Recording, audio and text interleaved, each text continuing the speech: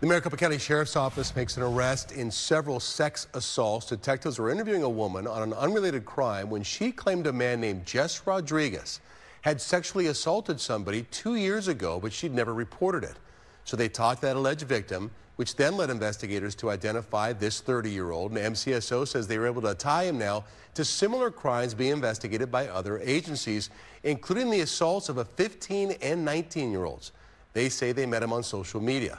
He's also accused of abusing a young girl under the age of 12. And so now he faces several sexual assault charges.